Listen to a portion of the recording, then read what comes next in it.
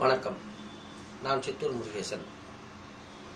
காவிரி நதிநீர் பங்கீட்டில் supreme court வந்து தீர்ப்பு கொடுத்துருக்காங்க. முதல்ல வந்து நல்ல விஷயத்தை பார்த்துருவோம். அதாவது காவிரி மேலாண்மை வாரியம் உடனடியாக அமைக்கணும் அப்படின்னு ஒரு தீர்ப்பை கொடுத்துருக்காங்க. சந்தோஷம். ஆனால் இது எந்த அளவுக்கு மெட்டீரியலைஸ் ஆகும்? அது ஏற்கனவே வந்த தீர்ப்பு தான். அவங்க மோடி சர்க்கார் போய் இந்த மேலாண்மை வாரியம் அமைக்கிறது பாராளுமன்றத்தோட வேலை. சுப்ரீம் கோர்ட்டுக்கு இதில் அதிகாரம் இல்லைன்னெல்லாம் லந்து கொடுத்தாங்க. மறுபடியும் வந்து சுப்ரீம் கோர்ட்டு அதையே சொல்லியிருக்கு. இது எந்த அளவுக்கு அமலாகும்? இது ஒரு சந்தேகம். அடுத்தது தமிழக விவசாயிகளின் நிலை எந்த அளவுக்கு பரிதாபமாக இருக்குன்னா அவார்டை குறைச்சிருக்கு தீர்ப்பில். ஆனாலும் மொய்யால் இதையாச்சும் கொடுங்கடா. அப்படிங்கிற நிலைமைக்கு வந்தாச்சு நிலைமை. இது ஒரு பக்கம். அடுத்தது வந்து இதில் எனக்கு புரியாத மேட்ரு இந்த நிலத்தடி நீர் வந்து இருபது டிஎம்சி இருக்குது. அதை உபயோகிச்சுக்கலாம் அப்படின்னு சொல்கிறாங்க இப்போ பஞ்சாயத்து வந்து நதிநீர் பங்கீட்டை பற்றி தான் நிலத்தடி நீரை பற்றி கிடையாது. இப்போ நிலத்தடி நீருங்கிறது வந்து ஆகாய கங்கையிலேருந்து வரப்போகிறது கிடையாது. நதி ஓடும்போது கிரவுண்ட் வாட்டர் சார்ஜ் ஆகும். அது புரியல ஒன்று அடுத்தது இந்த பெங்களூர். பெங்களூருக்கு குடிநீருக்குன்னு ஏதோ ஒதுக்கியிருக்காங்க. இங்கே இந்த ஓவரால் நம்ம இந்திய திருநாட்டிலேயே இருக்கக்கூடிய சிக்கல் என்னடான்னா இந்த வளர்ச்சிங்கிறதே வந்து எல்லாம் அந்த தலைநகரை சுற்றி தான் இருக்கான் இந்த அணுமின் நிலையத்தில் இருந்து எல்லாம். தலைமைச் செயலகம் அதே போல் வந்து இந்த ஹைகோர்ட்டுங்க அடுத்து வந்து இந்த அது என்னது? இந்த ஜீரோ ஜோன் இதெல்லாமே வந்து தலைநகரை சுற்றியே அமையுது. இது வந்து நல்லதில்லை. ஏன்னா அனுபவத்தில் சொல்கிறோம் வந்து சந்திரபாபு நாயுடு வந்து தொண்ணூற்றி அஞ்சில் வந்து உட்கார்றாரு உட்காரும்போது ஹைதராபாதை வந்து அப்படியே ஊட்டி ஊட்டி ஊட்டி வளர்க்குறாரு. இன்னைக்கு ஹைதராபாதே போயிடுச்சு அந்த மாதிரி ஒரு நிலைமை வரப்படாது. இப்போ வந்து எப்போவுமே வந்து டென்சிட்டி ஆஃப் பாப்புலேஷன் மக்கள் தொகை அடர்த்தி அப்படிங்கிறது வந்து குறைவாக இருக்கணும். மக்கள் பரவலாக வசிக்க வேண்டும்.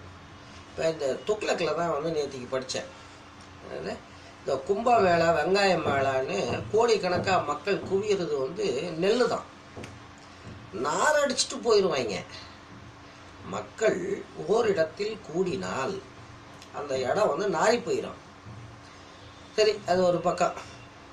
இந்த இன்னொரு மேட்ரு வந்து எனக்கு புரிய மாட்டேங்குது. என்னடான்னா எந்த பக்கம் சந்திரபாபு நாயுடு ஒரு காலத்தில் சொன்னார். விவசாயம் எல்லாம் விவசாயத்தை விட்டுருங்க. விவசாயிகளுடைய பிள்ளைகள் எல்லாம் கம்ப்யூட்டர் கற்றுக்குங்கன்னு மன்மோகன் சிங் வந்து என்ன சொன்னார்? விவசாயத்தை விட்டு விவசாயிகள் வெளியேற வேண்டும் அப்படின்னார். இப்போ நாம் பார்க்குறோம் இப்போ வந்து நாம் வந்து பஸ்ஸில் போகும்போது விளைநிலமெல்லாம் வந்து கல் முளைச்சி கிடக்கு. அந்த நகர் இந்த நகர்னு இப்படி பார்த்தா நகரங்களில் மக்கள் தொகை பெருக்கிட்டே போகுது. அதாவது வந்து இந்த அது என்ன சொல்கிறது மக்கள் வலசை வருகிறார்கள். பொழப்பு கெட்டு போய் கிராமங்களில் வாழ முடியாத நிலை வந்து நகரங்களுக்கு பெயர்கிறார்கள். இப்படி பார்க்கும்போது அந்த விவசாய பரப்பு குறையணும் தானே அது எப்படி அதிகரிக்குது தெரியல ஒன்று அடுத்தது இப்போ இந்த அது என்னது? காவிரியில் தண்ணியை திறந்து விட்டாங்க அப்படிம்பாங்க. அந்த தண்ணி வந்து கால்வாய்கள் வழியாக ஓடி வருது. இப்ப, இந்த தண்ணீர் இந்த பூமியில் இருக்கக்கூடிய தண்ணியில் வந்து பாசனத்துக்கோ குடிநீருக்கோ உதவக்கூடிய அளவில் இருக்கிற தண்ணி வந்து ரொம்ப ரொம்ப குறவு தான் நீங்கள் விக்கிபீடியாவில் பார்த்தா தெரியும். அப்படி இருக்கும்போது இந்த தண்ணீரை வெட்டியாக வந்து நிலத்துல கொண்டுட்டு போவாங்க. அதை அதை வந்து அந்த ஆவியாதலை தடுக்க முடியாதா? அதாவது வந்து பிவிசி பைப்பு உபயோகிக்கலாம். இந்த விவசாயிகள். அதே போல் வந்து இப்போ என்னென்னமோ சொல்கிறாங்க ட்ரிப் இரிகேஷனுங்கிறான் என்னென்னமோ வந்திருக்கு. இப்போ இது வந்து என்னடா மெயின் சிக்கல்னா இப்போ இந்த விவசாயம். விவசாயம்ங்கிறத வந்து சயின்டிஃபிக்காக பண்ணணும். மெக்கனைஸ் பண்ணணும். அடுத்தது வந்து லார்ஜ் ஸ்கேலில் பண்ணணும். அப்படி பண்ணும்போது தான் இந்த விவசாயம்ங்கிறது வந்து லாபகரமாக மாறும். இப்போ என்னது? போலி விதைகள். இந்த போலியான விதைகளை விதைச்சு சிக்கிறாங்க. அதே போல் இந்த உரங்களில் போலி வருது. அதே போல் இந்த கிராப் இன்சூரன்ஸ் அது பெரிய ஃபேக் அது. இப்போ வந்து நம்ம மோடி சாப் கூட ஏதோ ஃபசல் பீமான்னு ஒன்று கொண்டாந்துருக்காரு. இப்போ நான் என்ன சொல்கிறேன் இப்போ வந்து இந்த விவசாயிகள் இதில் வந்து பலதரப்பட்டவர்கள் இருப்பாங்க. பெரு குறு சிறு இப்படி. இவங்க வந்து ரீட்டைலாக பண்ணுறதுனால இவங்களால வந்து போராடவும் முடியல. அதே போல் அந்த தப்பி தவறி அந்த தண்ணி கிடைச்சாலும் அதை பர்ஃபெக்டாக உபயோகிச்சிக்கவும் முடியல. அதே போல் இவர்கள் விளைவித்த பயிர்கள் அந்த அதுக்குண்டான நியாயமான விலையையும் பெற முடியல. இதுக்கு ஒரே ஒரு தீர்வு என்னடான்னா கூட்டுறவு பண்ணை விவசாயம். அப்போ வந்து என்ன ஆகும்னா உர கம்பெனிக்காரன் விவசாயிகள் சங்க அலுவலகத்துக்கு வந்து வெயிட்டிங்கில் இருப்பான். இந்த கிரா கிராப் இன்சூரன்ஸ் பண்ணுற பக்கி விவசாயிகள் சங்க அலுவலக கட்டடத்தில் வந்து வெயிட்டிங்கில் இருப்பான். அதே போல் அரசு அதிகாரிகள் அரசு அதிகாரிகள் வந்து சங்க பிரதிநிதிகளை சந்திப்பாங்க. இந்த முறை வந்து இத்தனை ஏக்கரால் இந்த பயிர் போடுங்க இந்த முறை வந்து இத்தனை ஏக்கரில் இந்த பயிரை போடுங்கன்னு. இது இவங்க வந்து இப்படி உதிரியாக இருக்கிறதுனால தான் வந்து நாதியத்து போயிடுறாங்க. இப்போ இந்த இப்போ நான் ஏற்கனவே சொன்னேன். வந்து தமிழ்நாட்டுக்கு உண்டான பங்கீட்டை சுப்ரீம் கோர்ட் குறைச்சிருக்கு. ஆனாலும் தமிழக விவசாயிகள் வந்து இதையாச்சும் அமல்படுத்தினா போதும் அப்படிங்கிற ஒரு கையறு நிலைக்கு வந்திருக்காங்க. அப்படின்னா வந்து இந்த அடிமை அரசாங்கத்து மேலே எவ்வளோ நம்பிக்கை இருக்குது பாருங்கள் இது ஒரு பக்கம். ஆனால் ஒன்று இந்த ரணகலத்துலேயும் ஒரு ஆறுதல் தரக்கூடிய விஷயம் என்னன்னா கர்நாடகா எல்லையில் வந்து கர்நாடக விவசாயிகள் இனிப்பு வழங்கி மகிழ்ந்திருக்காங்க. இல்லைன்னு வைங்க அது வேறு பெரிய லொள்ளு அங்கே தேர்தல் வேறு வந்துக்கிட்டு இருக்கு அதனால் வந்து இது வந்து சட்டம் ஒழுங்கு பிரச்சனையாக மாறக்கூடிய ஒரு ஆபத்து இருக்குது நான் என்ன சொல்ல வரேன்?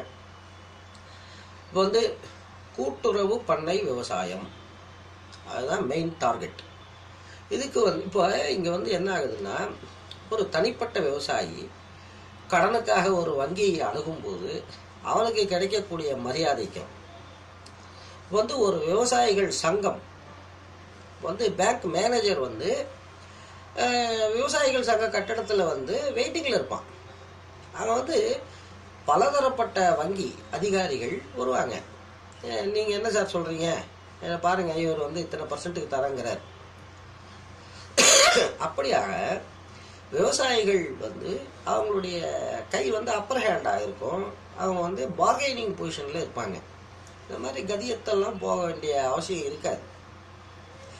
இனியாவது அதாவது இந்த விவசாயத்துக்காக வந்து நான் இந்த அளவுக்கு வக்காலத்து வாங்க காரணம் என்னன்னா இது வந்து எக்கோ ஃப்ரெண்ட்லி ஒன்று அடுத்தது வந்து வேலை வாய்ப்பு கொடுக்குது உடனடியாக இப்படி நிறைய சொல்லிக்கிட்டே போகலாம். இந்த உணவு. வந்து ஒரு மனுஷன் வந்து ஆடை இல்லாமல் கூட வாழ்ந்துடலாம். வசிப்பிடம் இல்லாமல் கூட வாழ்ந்துடலாம். ஆனால் வந்து உணவு இல்லாமல் வாழ முடியாது. இது வந்து எசென்ஷியல் ப்ராடக்ட் இப்போ வந்து இப்போ வந்து இந்த இலவச அரிசி மலிவு விலை அரிசி இதெல்லாம் வந்து புரட்சியை ஒத்தி போடக்கூடிய ஒரு திட்டங்கள் தான். அப்படி இருக்கும்போது இந்த உணவு உணவு பயிர் இந்த விஷயத்தில் வந்து அரசாங்கம் வந்து ரொம்ப அலர்ட்டாக இருக்கணும். இதை ஏன் இவங்க இப்படி தள்ளி போட்டுக்கிட்டே போகிறாங்க புரியல. அதாவது இப்போ இன்னைய தேதிக்கு யாரெல்லாம் முன் வராங்களோ அவங்கள மட்டும் உள்ளடக்கி ஒரு சங்கம் அமைத்து மாநில அரசாங்கத்தினுடைய மேற்பார்வையில் அதாவது வந்து இங்கே வந்து என்னடா ஆச்சுன்னா இப்போ வந்து இந்த இயற்கை விவசாயம் வெங்காய விவசாயம்னு அள்ளி விடுவானுங்க. அதெல்லாம் டகுலு நம்பாதீங்க. வந்து அதுக்கு அது ஒரு சயின்ஸ் அது. அதுக்குண்டான நிபுணர்கள். அந்த நிபுணர்களுடைய பரிந்துரைகள் வந்து விவசாயிகளுக்கு நேரடியாக கிடைக்கும். இப்போ வந்து இந்த அது என்னது? இப்போ எஸ்எம்எஸ் அனுப்புங்க. வாட்ஸ்அப் குரூப்பு இதெல்லாம் வந்து வேலைக்காகாது. இதனால் வந்து இந்த அரசாங்கங்கள் உடனடியாக இந்த பாசன நீரை எப்படி சிக்கனமாக பயன்படுத்தணும் அதுக்குண்டான வழியை பார்க்கணும். இப்போ வந்து அரசாங்கம் வந்து அநியாய விலை கொடுத்து வாங்குது. இந்த உணவு தானியங்களை வந்து உடலை விற்று பிழைக்கக்கூடிய வேசிக்கு கூட என்னுடைய ரேட் இது அப்படின்னு சொல்லக்கூடிய ஒரு வாய்ப்பு இருக்குது ஆனால் விவசாயிக்கு அது இல்லை. ஒரு வகையில் பார்த்தால் அரசாங்கம் என்பது பிற மக்களுக்காக அதாவது கன்சியூமர்ஸ் அவங்களுக்காக விவசாய வயத்தில் அடித்து அவனுடைய உழைப்பை சுரண்டது. இப்போ இதில் வந்து எத்தனை லட்சம் கோடி வந்து அரசாங்கத்துக்கு போய் சேர்ந்துருக்கும் குறைஞ்சபட்சம் அந்த காசில் ஒரு ஒன் பர்சன்ட் செலவழித்து இந்த பாசன நீரை சிக்கனமாக செலவழிக்க இந்த என்ன சொல்கிறது ராட்சத குழாய்கள் மூலமாக கொண்டு வரலாம். அதே போல் வந்து இந்த நிலங்களுக்கு இடையில் இந்த நீர் பாய்ச்சும் போது பிவிசி பைப்ஸ் உபயோகிக்கலாம். அதே போல் நான் சொன்ன அந்த சொட்டு நீர் பாசனம் இப்படி பலதும் இருக்குது இப்போ வந்து இப்போ இன்றைய தேதிக்கு அதாவது இப்போ வந்து அந்த விவசாயிகள் மனநிலையில் தான் நானும் இருக்கேன். இவ்வளோ மாத்திரம் கொடுத்து தொலைச்சானோலே இதில் சித்தராமையா வேற மகிழ்ச்சின்னு சொல்லியிருக்காரு. இப்போயாச்சும் உடனடியாக அந்த மேலாண்மை வாரியம் அமைச்சு. அதே மெட்டீரியல் மெட்டீரியலைஸ் ஆகணும். இப்போ தீர்ப்புங்கிறது வந்து அமலாக வேண்டும். அப்போ தான் அதுக்கு மரியாதை.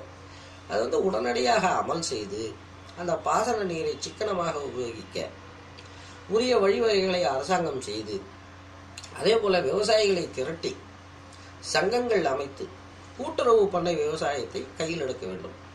அதான் வந்து நீண்டகால தீர்வு. நன்றி வணக்கம். சித்தூரில் இருந்து முருகேசன்.